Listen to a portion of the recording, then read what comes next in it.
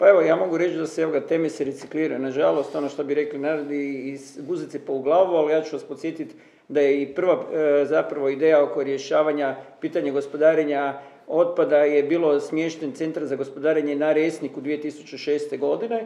E, u međuvremenu, u proteklih ovih 20 skoro godina, stranke su mijenjale stajališta, evoluirale su od jednih prijedloga da su došli skroz na kontrastranu, pa znate i sami da ova aktualna vlast i pozicija bivše i opozicija su e, drastično promijenili mišljenje o tome jel treba zapravo biti na resniku ili negdje drugdje, u načelu sve u okviru populizma. Treba zapravo, zato trebamo saslušati stručnjake i vidjeti šta je najizglednije za grad Zagreb. Nije loša ideja, moram priznati dole e, taj na resniku, ali evo ga imamo nažalost pročišćivač voda, to je gradsko dole zemljište, ima to logike, ali mi ne vidimo da će to financijski biti izvedivo uopće E, do onda i ne nudimo ono što su rekli kolege cjelovito rješenje. Napravit ćemo sortirnicu i šta ćemo dalje sa tim.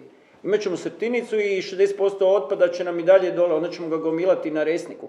Ja ne vidim u ovom planu koji je predviđen šta će se napraviti dalje sa ovima. A ovo drugo su sve političke igre. Mene nas isto osobno to e, zapravo žicira, što stranke često zbog populizma i zbog trenutnih političkih e, prilika na političkoj sceni mijenjaju stajališta. Pa smo malo za resnik, pa smo malo protiv resnika ili bilo koje druge opcije. Ali evo, e, drago nam je da, da je SDP sada došao do toga opet da trebamo energanu, zato vidi da drugog e, nema, ali nadam se da će to progurati kod svojih sad koalicijskih partnera da, da, da se to realizira.